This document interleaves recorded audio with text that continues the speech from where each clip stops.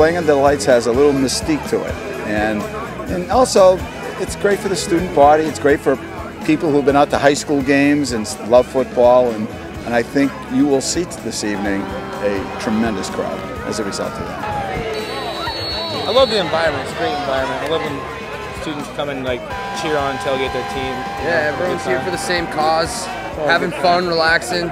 A lot of families come up, so it also gives a reason for the families to come up and you know hang out with all of us. when We don't get to see them a lot. Yeah, yeah, a couple of times a year we come. Yeah, yeah see the kids. My son's a senior, and she's sophomore, so yeah, it's fun.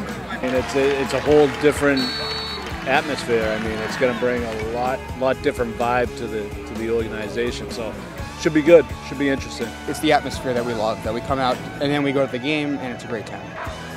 In comes around, that's Mike Kelly. Vailas speaks to him. There's one out long downfield, looking for R.J. Harris. He's got it inside the 10, down to the 5. As Vailas and R.J. Harris hook up on a big one. We're with the New Hampshire Junior Wildcats. We're Pop Warner football and cheer out of southern New Hampshire.